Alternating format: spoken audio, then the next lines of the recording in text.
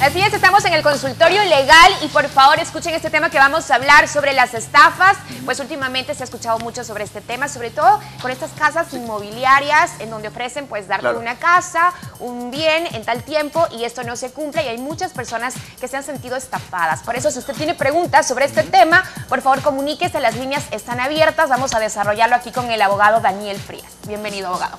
Gracias, buenos días. Eh, abogado, este, ahora, ¿cómo diferenciar que estamos siendo estafados de simplemente un fraude? No sé. Bueno, fraude, una estafa va, es prácticamente lo mismo. Lo que tenemos que de pronto que diferenciar es una, un contrato, una, un contrato mediante el cual usted está contratando un servicio, digamos, un pintor que usted le dice, píntame esta parte de la casa, y se la pinta mal, y si le pinta mal esa parte de la casa, estaríamos hablando de que hizo un mal trabajo, más no es una estafa. Entonces a veces la gente le dice, no, lo voy a mandar por estafa. No, hizo un trabajo, pero hizo un mal trabajo. ¿Qué es una estafa?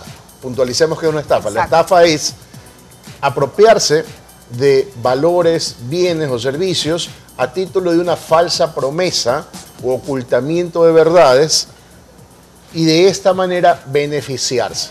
Entonces, si es que, invento, poniendo el mismo ejemplo de un pintor, dice, no, yo te voy a pintar la casa, sí, por supuesto, dame un anticipo, y nunca se presentó el trabajo, y nunca hizo el trabajo, él creó una falsa promesa, creó una falsa expectativa para apropiarse de tu dinero. Eso es una estafa pura. Pero si no hay un contrato de por medio, ¿cómo lo prueba? No, los contratos son verbales o son escritos. Igual si es un contrato verbal, tiene validez. Pero por supuesto, claro que sí. ¿Y cómo puedes probar un contrato verbal, por ejemplo? habrá muchas cuestiones como testigos, depósitos, pagos, mensajes o sea, hay, un sinnúmero de cosas que se deben tomar en cuenta y que las personas, valga el espacio eh, en estos momentos, este, este, espacio televisivo, para decir que todo se debe documentar, todo tiene que tener constancia. Claro, para no, para no caer pues precisamente en, las redes de estas personas que tienen estas malas intenciones.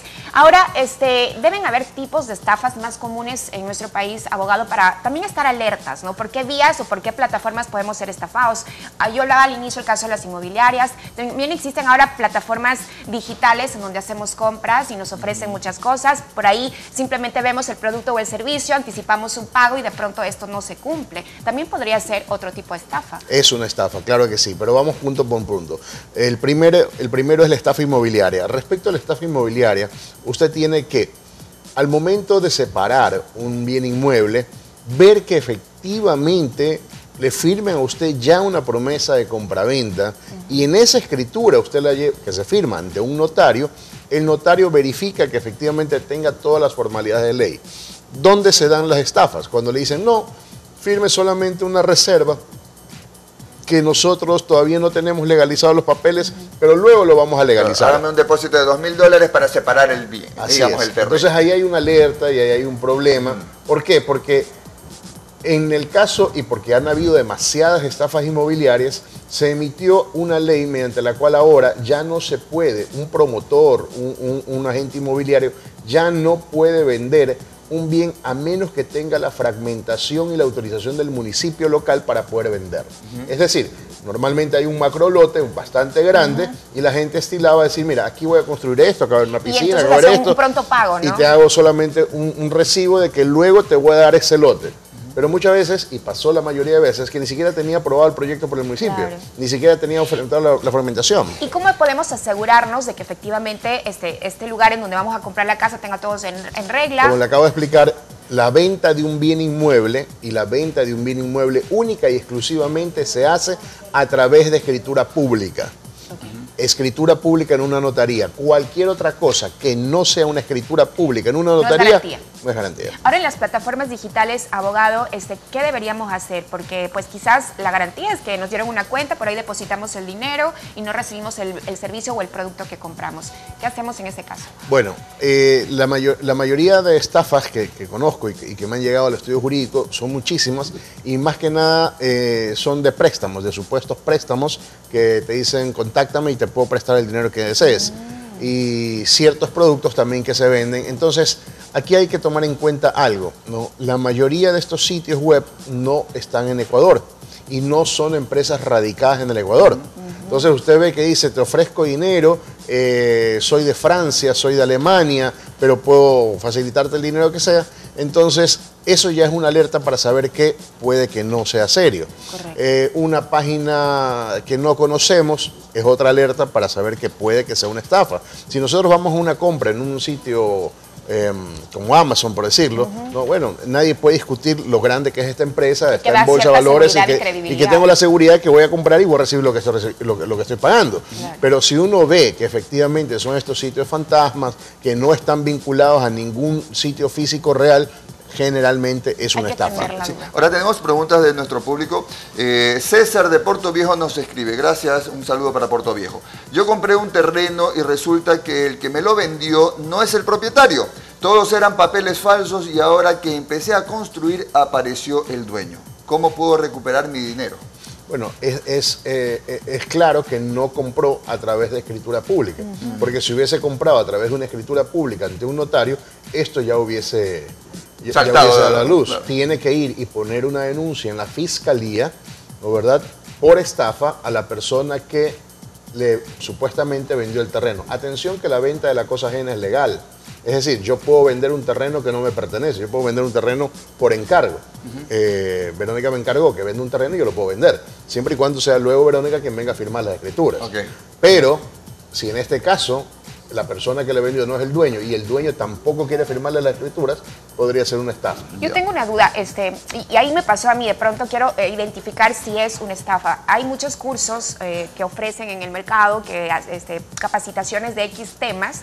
Uno va, se inscribe, pagas tu dinero, no sé, en el caso mío eran como 800 dólares, y estas escuelas son internacionales y te ofrecen un, diplomado, un título y ta, ta, ta. Resulta que lo que tú este, recibiste en este sitio no es lo que está dentro de tus expectativas, porque te ofrecieron temas que no los trataron.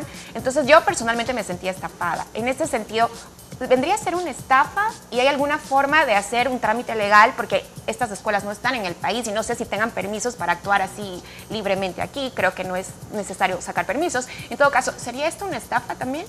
Bueno, el ofrecimiento de algo que no se cumple siempre va a ser una estafa. si yo me siento porque no recibí el conocimiento que yo pues, quería. Si es que le, ofrecieron. en una malla curricular un, determinado paquete académico y ese paquete académico no, fue entregado en su totalidad, sino de forma parcial, usted tiene todo el derecho a reclamar porque es una estafa aquí y en cualquier parte del mundo. Eh, eh, abogado, dice, fui a una entrevista de trabajo y me dijeron que para obtener el trabajo tenía que dar 100 dólares para los implementos de trabajo. Ah. Ahora ya no me contestan y la persona desapareció. ¿Qué podría hacer en ese caso? Bueno, obviamente así no funciona una entrevista de trabajo. Obviamente, ¿no? A ver, les quiero dar un, norte sumamente fácil para el tema de las estafas. En el tema de las estafas, la idea del estafador es sacar algo poco de dinero de tal manera que el día de mañana poner una denuncia o hacer trámites legales sea más oneroso, más molestoso y optes por perder. Entonces, esa es una característica básica básica de que va a ser estafado. Es decir, te ofrezco millones, pero ahorita dame 100. Te ofrezco miles de miles, pero ahorita dame 200. Entonces no, no tiene sentido, no compensa cuando tú me dices a mí, por ejemplo, en Facebook ahorita hay muchísimas, muchísimas páginas que ofrecen, que ofrecen eh, préstamos y te dicen, te vamos a prestar 100 mil dólares, 200 mil dólares, 300 mil dólares, pero haznos un depósito para un supuesto seguro de vida por 500 dólares. Entonces ya de por sí allí estamos viendo de que, ok, eh, algo está mal, me estás pidiendo poco dinero y me estás ofreciendo grandes maravillas. Eso siempre, siempre va a ser un síntoma de estafa, como en este caso, es decir, te voy a dar un trabajo, vas a tener un trabajo fijo mensual, pero, dame 100 dólares ahorita. Entonces, eso hace que la gente el día de mañana diga, no, sabes que yo mejor pierdo eso y no denuncio. Bueno, tenemos mensajes que están llegando a través de nuestro WhatsApp. Este, Marcelo está esperando que entren a, la cuenta de WhatsApp. Sin embargo, lo que dice el abogado es súper importante, pues, destacar. Tenemos ya los mensajes. A ver, dice, hace ocho meses compré unos aretes a una, a una página de internet. Me dijeron que los estaban realizando, que tenían materiales importados, etc. Me dejaron de contestar el teléfono y los mensajes hasta que llamé de otro número. Ahora pido que me devuelvan el dinero y dicen que no lo pueden, por, o sea, no lo pueden devolver porque ya se los gastó y que me puede dar los aretes, pero ya no los deseo. O sea, Bueno, debería o recibir los aretes, que es en el peor de los casos, ¿no verdad? Claro, Eh, no pero si es que no le ha dado en determinado tiempo y no lo ha cumplido ya determinado tiempo, dudo mucho que lo haga. A lo mejor lo está tonteando y debe poner una denuncia. En ¿no? el caso de los vehículos abogados también eh, se ha dado, ahora último sabíamos que, eh, se, por ejemplo, alguien va a una casa de renta donde se rentan vehículos y esos vehículos que son rentados los van a otros lados, a otras provincias y los venden como si fueran propios. Obviamente ahí hay una estafa. Bueno, ahí ya más que una estafa, estamos hablando ya de un acto delictivo que puede ser tipificado como falsificación de documentos públicos, clonación vehicular. Más allá de una estafa, ya estamos hablando de un delito muy elaborado. Como le digo, pues si voy a vender un vehículo me implica falsificación de un documento público, que es gravísimo, ¿no? o clonación de un vehículo, que es gravísimo. Claro. ¿no? Ya es otra, otra situación otra también igual grave. Muchísimas gracias, abogado. Redes sociales, ¿para alguna pregunta?